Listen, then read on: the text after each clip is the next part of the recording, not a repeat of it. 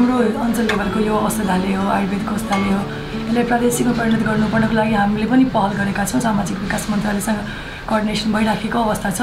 जिल्ला स्तरको कार्यालयको केही पहिलाभन्दा सेवा हामीले विस्तार गरेका छौँ। जस्तै यहाँ हजुरको ओपिडी सेवा थियो पहिला होइन? ओपिडी सेवा अहिले नियमित हामी चलाइराखेकै छौँ। साथसाथमा अहिले हामीले ल्याब सेवा बढाएका छौँ यहाँ। पञ्चकर्म सेवा पनि बढाएको छौँ। ज्येष्ठ नागरिक आउने व्यक्तिहरूलाई चाहिँ यहाँबाट हामीले असुगन्ध आमल कि हामीसँग भएका औषधिहरू वितरण गर्ने कार्यक्रम पनि यहाँबाट हामीले दैनिक रूपमा चलाइराखेका छौँ। स्तनपाई आमाको लागि पनि शताब्दी चुन भन्ने आउँछ।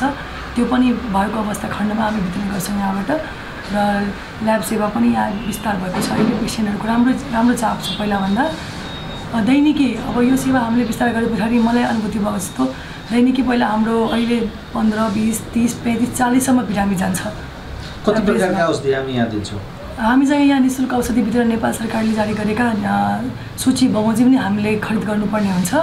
हामीले त्यही तेइसवटा आइटम नै हामीले खरिद गर्छ। जस्तै जस्तै फर इक्जाम्पल अभिपतिकर हिङवास्टरहरू आउँछ आमलकी अश्वगन्धा त्रिफला एउराज गुगुल केशर गुगुल शतावरी चूर्ण महानारायण तेल दसमुल चूर्ण इत्यादि लगायत तेइसवटा आइटम हामीले यहाँबाट वितरण